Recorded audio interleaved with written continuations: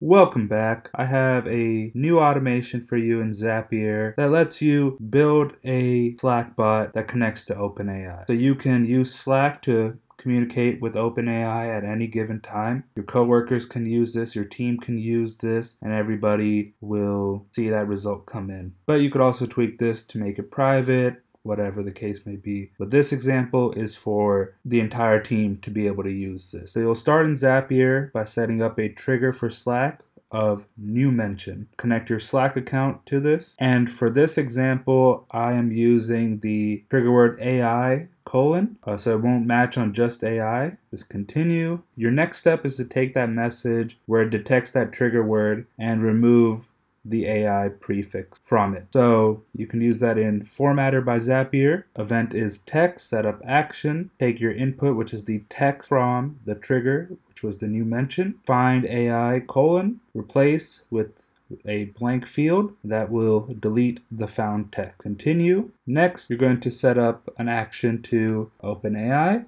The event is send prompt. Choose account sign in, provide your API key, continue. I kept the default model, text DaVinci, temperature, default, maximum length, default, stop sequence, top P, frequency penalty, default. Presence penalty, I changed to a 1 as I've seen this used in many OpenAI's direct examples. Your prompt is going to be the output of formatter. You're going to continue, set up an action for sending a channel message in Slack, connect Slack. Now, the good thing is that your mention can be in any channel, I believe, and Slack will retain what channel ID it detected that original message. So you can use channel ID from the trigger here as the output channel. Your message text is going to be the response from OpenAI, which is the choices text data. Send as a bot yes, give it a bot name. Customize the bot's appearance as you need. Change if you want to broadcast to the channel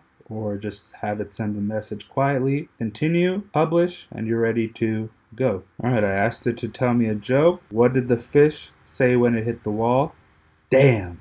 That's a good one, OpenAI. This is just the basic outline. You know, take this, change up the trigger word, change up how you're going to use it, instruct your team to maybe standardize prompts. But there is a ton of potential here. I look forward to hearing about what you built. If you have any questions, leave them in the comments below. I'll get back to you. And thanks for watching. Please like and subscribe.